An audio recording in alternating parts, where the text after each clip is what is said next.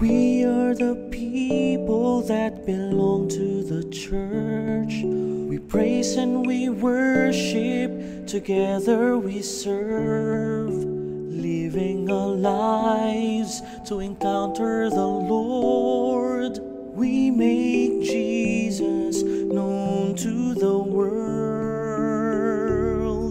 United in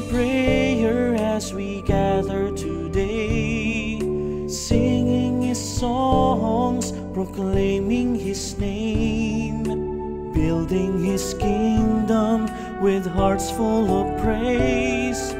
We are one family in service and faith. We are called to continue the mission in spreading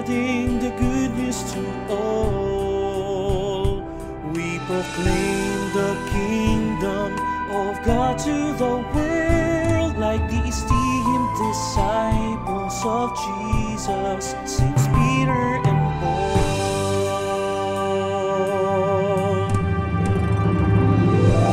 As we venerate to the Virgen de la Rosa, we imitate her Ecce Fiat Magnificat.